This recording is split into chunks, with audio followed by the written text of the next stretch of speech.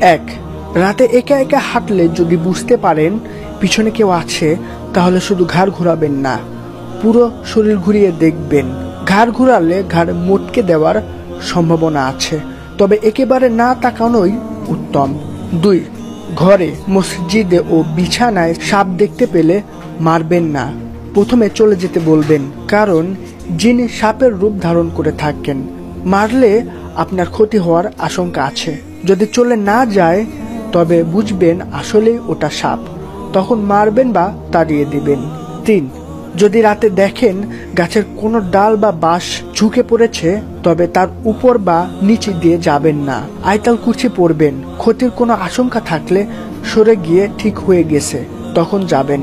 চার গভীর রাতে কেউ বাহির থেকে আপনার নাম ধরে একবার ডাকলে সাড়া দিবেন না।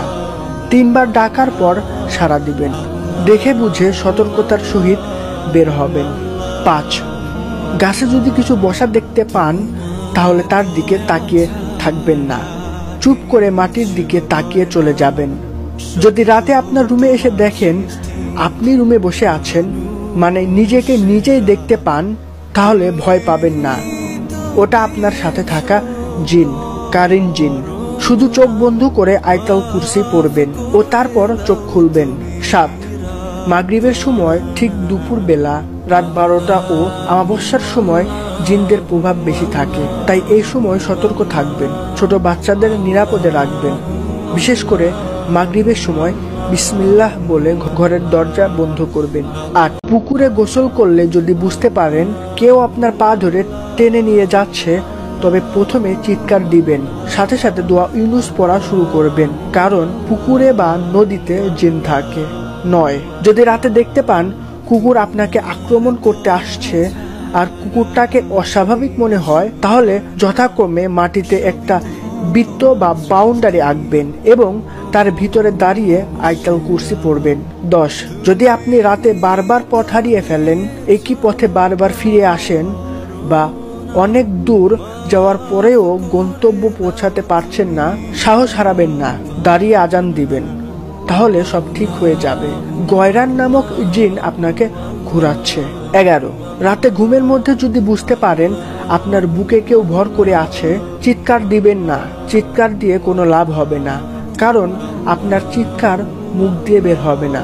আপনার জানা যে কোনো সুরা বা আয়তাল কুরচি ঘুমের মধ্যে যদি বুঝতে পারেন আপনার বুকে কেউ ভর করে আছে, চিৎকার দিবেন না।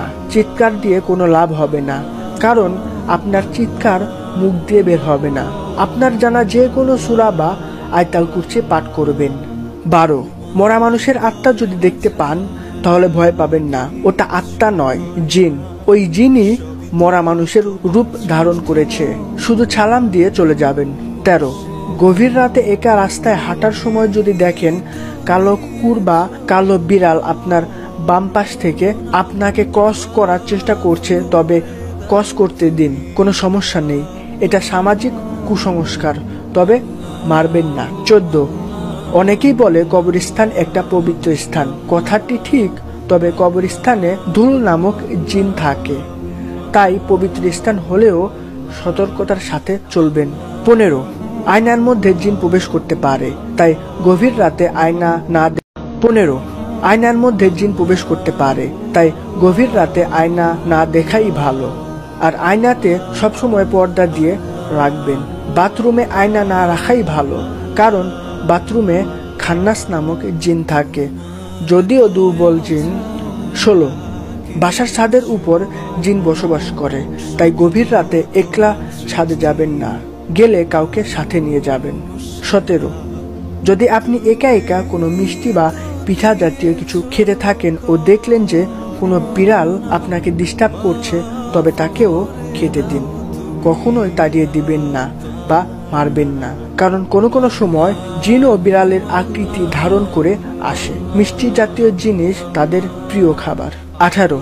অতিরিক্ত রাগ করবেন না। আমাদের মাঝে মধ্যে রাগ এতটাই বেড়ে যায় যে মুখ দিয়ে কথা আটকে আটকে যায়। এই রাগের কারণে জিন আপনার শরীরে প্রবেশ করতে পারে। তাই রাগ হলে বসে করবেন না। আমাদের মাঝে মধ্যে রাগ এতটাই বেড়ে যায় যে মুখ দিয়ে কথা আটকে আটকে যায়। এই রাগের কারণে জিন আপনার শরীরে প্রবেশ করতে পারে। তাই রাগ হলে বসে পড়বেন বা বসে থাকলে শুয়ে যাবেন। উনিশ রাতে কখনো চিত হয়ে ঘুমাবেন না। আর যদি ভয়ের স্বপ্ন দেখেন, তাহলে উঠে বুকের বাম পাশে আস্তে আস্তে করে তিনবার থুতু ফেলবেন। বুখারি। এই হলো জিনের হাত থেকে বাঁচার কয়েকটি উপায়। আশা করি ভিডিওটা ভালো লেগেছে। যদি ভিডিওটা ভালো লেগে থাকে এবং